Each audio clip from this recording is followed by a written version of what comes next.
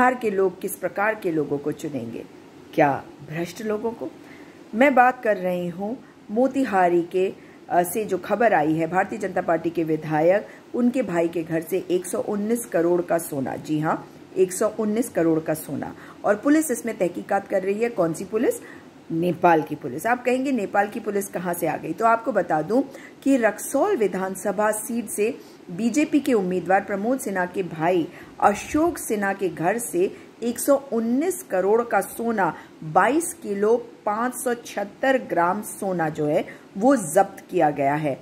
और भारतीय जनता पार्टी के जो ये विधायक हैं प्रमोद सिन्हा, इनके भाई अशोक सिन्हा नेपाल बॉर्डर पर कस्टम क्लियरेंस का काम करते हैं, कस्टम क्लियरेंस का काम करते हैं और उनके घर से जब छापेमारी हुई तो ये भारी मात्रा में सोना जब्त किया गया। आपको बता दूँ कि जो प्रमोद सिन्हा है, विधायक, भाजपा के, ये रक्सौल के हरैया इलाके के रहने वाले हैं।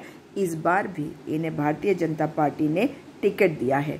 इससे पूर्व ये जनता दल यूनाइटेड के जिलाध्यक्ष भी रहे हैं। सोचिए कि किसको चुनना है?